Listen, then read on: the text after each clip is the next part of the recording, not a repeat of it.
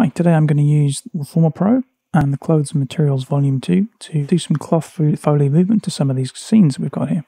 So first of all, we've got a, um, a woman putting in some light clothing into a washing machine and we're just going to add a little bit of cloth movement to this to make it feel like it gels better into the scene. So opening up Reformer Pro, um, experimenting ahead of time, I actually found that the acrylic movement and cloth movement libraries worked really well, well combined together.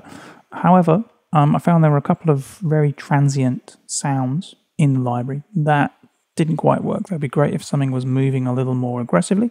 Um, for the gentle movement that we've got in this video, um, I felt that was actually a little bit too much. So what I've done here is I've just muted those sounds and saved the preset as gentle cloth so I can use it again in a future project.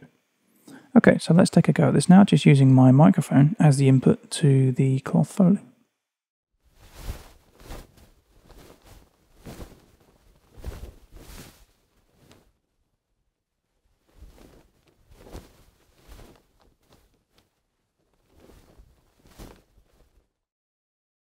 Okay, great. So let's hear that back now.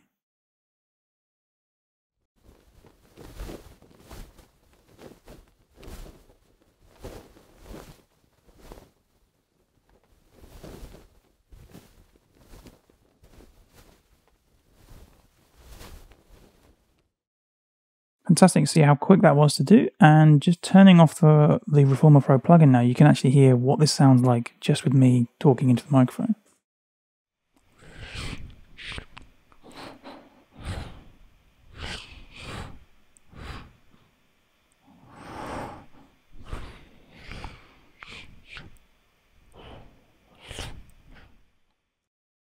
So you can see how Reformer Pro has transformed that sound into something very usable very quickly in just a very quick single take. Obviously, I could do this take again.